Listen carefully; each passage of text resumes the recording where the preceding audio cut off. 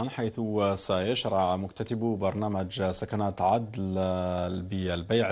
بالإيجار لسنتي 2001-2002 اليوم في اختيار مواقع سكناتهم على أن تتوسع هذه العملية لاحقا لتشمل مكتتبي برنامج سنة 2013 أو عدل 2 ودعت الوكالة الوطنية لتحسين السكن وتطويره عدل مكتتبي برنامج عدل لسنة 2001-2002 الذين قاموا بتحيين ملفاتهم في سنة 2013 وسددوا الشطر الأول من قيمة السكن والمقدرة بعشرة بالمئة إلى اختيار مواقع سكنتهم. ابتداء من اليوم على الموقع الإلكتروني www.adiel.com.dz